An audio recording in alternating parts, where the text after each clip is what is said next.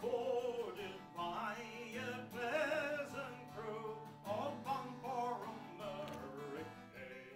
set up a workshop here with Nisha as part of the Junction Festival as a community engagement project and it was a process that we designed specifically for this project. We invited people firstly to come in and to write down a personal experience which connects them to the river and that was almost as a sort of to re-engage with a sense of self and the self-association with the river. The next thing that we invited people to do was to plot a place on this map. This is a map of the entire river Suir, so it's seen in its entirety.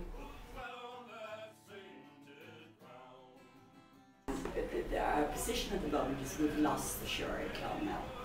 Totally lost. It's gone out of sight and sound because of the flood defences.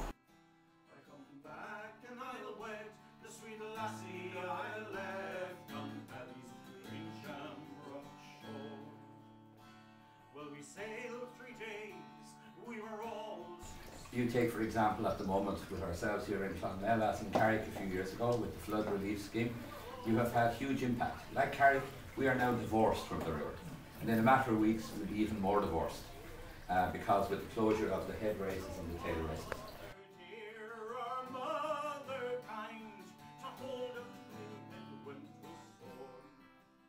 we don't have a huge amount of, of that are actually on the water.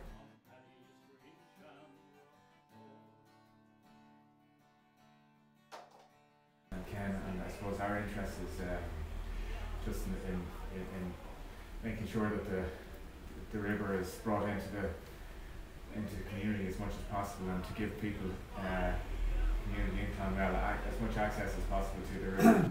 So Ralph, as I say, embodies all of that riverine tradition, which, by the way, has been greatly neglected in, in, in the consciousness of people and also in the, uh, Eh, if you like, in the cultivation, in cultivation by the academic community.